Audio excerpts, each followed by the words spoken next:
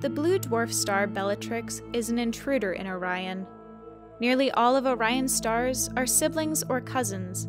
They were all born from the same vast expanse of building block material known as the Orion Molecular Cloud Complex. This family relationship is extremely rare for constellations, which are typically only fantasies of the human mind. A normal constellation stars are only together because humans join them up to tell stories or recall histories before the advent of writing.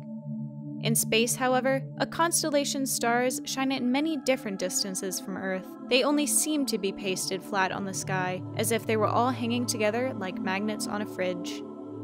This little star Bellatrix is around 250 light years from Earth, compared to the other stars in Orion that are around 800 light years away.